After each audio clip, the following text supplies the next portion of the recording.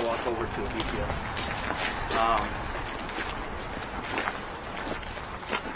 Against the police. this is her.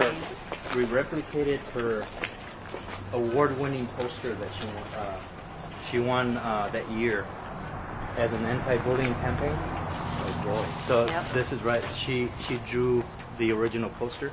Here, here in front of the mural um, for uh, his birthday as well. They went to uh, the, the the baseball games in Houston. Because they would have to approve right. So the city. I would t- step back and take Take pictures, some especially photos. when the families were here. Yeah. Uh, so I have that, you know, documented from uh, originally other uh, other kids were gonna go here, but we moved them, and so it becomes it becomes Alithia's art gallery. The mom requested uh, that we add her Mother's Day gift she received in May, her last Mother's Day gift from Alithia. It's popsicle sticks with all the words she wrote on there. We projected those on there. Um, Again, her writing. her writing.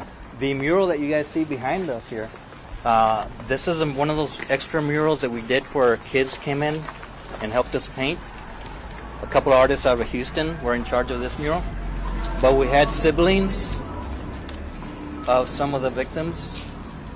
Kids from Robb came in to help us paint, and some of them signed. Do you see they have the Marshawn and the hot sauce, the Eiffel Everything that's on the murals the stuff on that's here. on the murals about.